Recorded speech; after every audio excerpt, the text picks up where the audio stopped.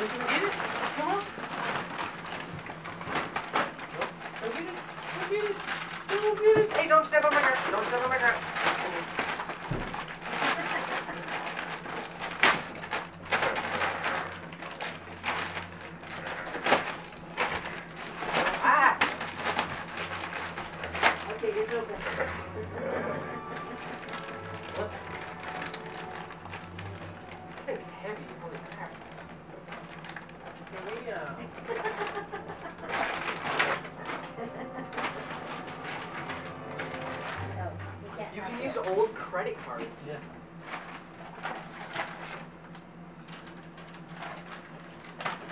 May I also tell like keep the plastic and stuff?